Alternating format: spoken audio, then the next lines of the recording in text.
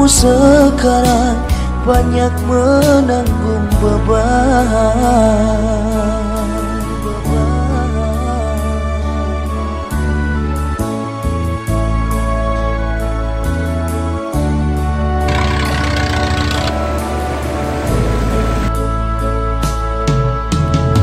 Engkau telah mengerti hitam dan merah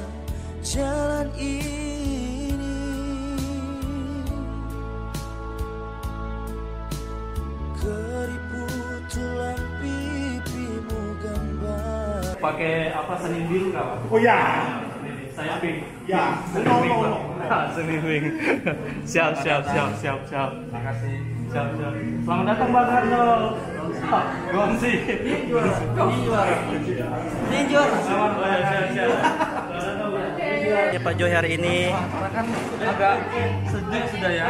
Dulu panas. Sudah sejuk.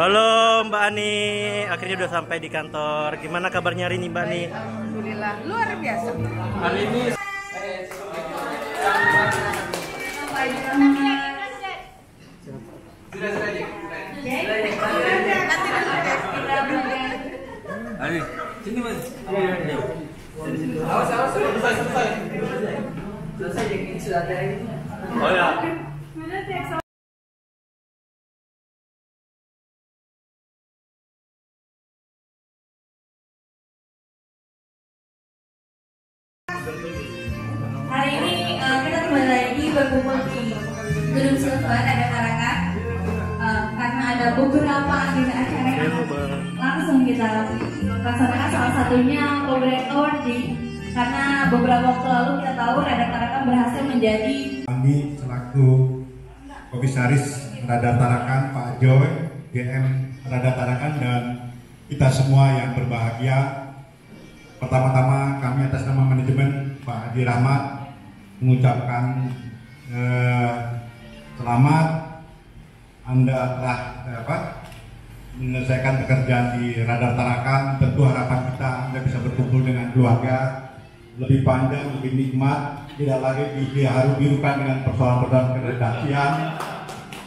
Itu yang membuat kita juga terharu, tidak lagi mendengar suaranya Pak Rahmat kata kawan-kawan di Radar. Tapi jalinan silaturahim kita tetap terus ada dan terjaga.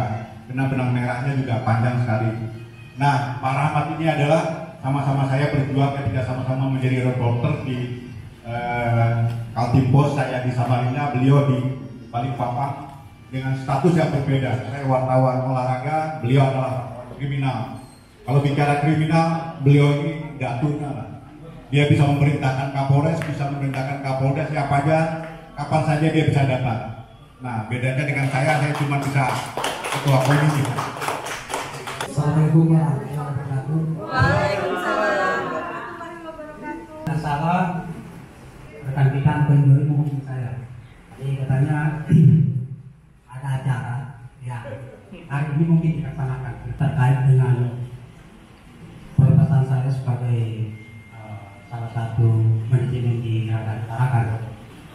Jadi waktu itu saya berpikir ini pelepasan ini sepanjang sejarah Kaltim Pos belum pernah dilakukan. Dari itu sampai sekarang belum pernah ada itu. Kata saya wartawan waktu itu waktu zaman kami dulu dengan Pak Rusdi itu loncat-loncat wartawan itu paling paling bertahan itu dia tidak tahu sudah pindah ke media lain jadi istilahnya masuk dari pintu depan keluar pintu belakang sehingga ya memang tidak ada yang tidak ada yang paling senior. Dulu mungkin kita waktu zamannya suara Katim itu hampir separuh wartawan yang loncat wartawan Katim Pos loncat ke suara Katim bahkan saya dengan Pak Rusdi mungkin itu ditawarkan sama manajemen uh, suara Katim bahkan saya ditanya Pak Rahmat gaji anda berapa di uh, menuntut waktu itu saya bilang ya biasalah sedang-sedang aja. Saya bilang saya bilang kalau mau pindah saya dapat dua kali gaji anda. Cuman pikir, pikirnya waktu itu suara Kaltim ini kan dia tunggal dia bukan grup. Jadi praktis dia uh, tidak begitu rapuh gitu. Bagaimana ada tangan grup, kita sama-sama memberikan kenang-kenangan nih Pak Haji biar eh, kalau Pak Haji santai-santai di rumah bisa ingat, oh ini dari radar. nih. Karena gambarnya tuh ganteng banget Pak Haji. Ya, langsung diserahkan. Ini diserahkan langsung ke Pak Haji ya. Didampingi Pak Direktur, Ibu Komisaris, dan jajaran manajemen Rada Tarakan. Ya. Ya, wah. Luar biasa. Ya. Mau diterima Pak ya? Pak gantian Pak. Untuk sesi foto. Lihat Pak. Teman-teman manajemen mungkin bisa merapat. Sebentar, sebentar, sebentar. Tahan, tahan. Jadi eh, di sini Ya, ayo, mandi, mungkin teman-teman yang di belakang bisa maju. Kita foto bersama. Buat bapak sama ibu. Ya. Ya. Apa sih filosofinya Mbak? Filosofinya?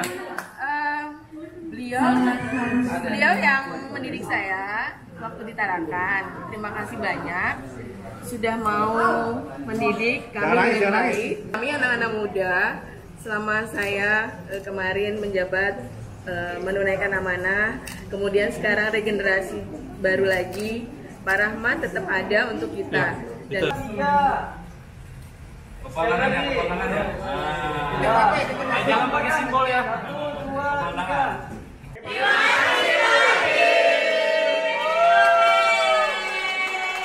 Ini harus kita beri apresiasi teman-teman.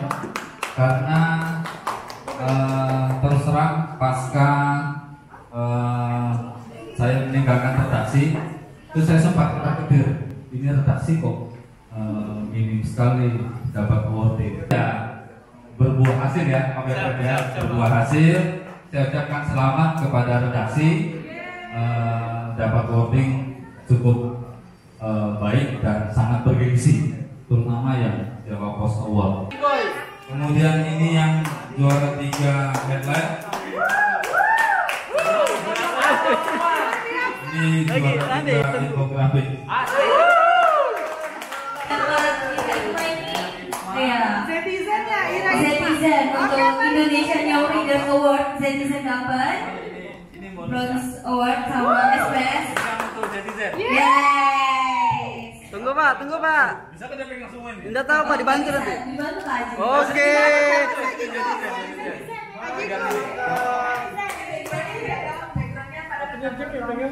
Dia di sini dong. Iya, iya. Bentar belum. Ah, ah, nguah. Nguah. Awarding ini eh, tidak hanya menjual redaksi, pun dukungan dengan divisi-divisi yang lain pula. Eh, tentu di dalam perjalanan itu kami butuh support biaya apa dan lain-lain kan kalau nggak didukung divisi lain juga kan udah nggak bakal dapat. Eh, duit itu asalnya dari mana ya? Dari kerja-kerja teman-teman gitu. Sustainable eh, liputan ini itu dari semua divisi. Jadi kami hanya simbol eh, apa mewakili radar tarakan aja. Ada banyak divisi di dalamnya. Duit yang menggaji kita mem- membuat radar tarakan ini ada sampai ke depan itu ya kerja teman-teman semua di seluruh divisi. Ada umum apa ya? Kita kan kadang mengabaikan ada umum. Ada umum kerjanya apa? Ini yang mengurusi gedung ini mengurusi uh, seleri teman-teman, mengurusi kinerja teman-teman apa dan lain-lain. Itu kinerja satu tim. Saya sangat berterima kasih kepada uh, seluruh divisi dan para pimpinan yang juga terus support memberi kami motivasi, tidak berhenti mencereweti Pak Rusdi juga yang uh, sering kali itu ayo maju apa dan lain-lain.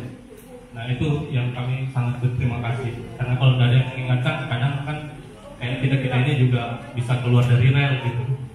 Dan uh, saya ingin mengucapkan terima kasih pula kepada Pak Haji Rahmat uh, semenjak saya di sini. Saya ini uh, baru apa uh, merasakan sentuhan beliau sejak saya pindah dari Balikpapan. Sebelumnya kan uh, kami di Nunukan Bali dan uh, saya berharap uh, acara pelepasan ini bukan menjadi akhir seperti yang dibahasakan Pak Rusdi. Kami sangat masih membutuhkan native speaker, kami membutuhkan uh, orang penutur eh, di kondisi coaching klinik kami. Karena kami kami ini belajar dari orang-orang yang memang sudah mampu yang memang sudah paham di bidang ini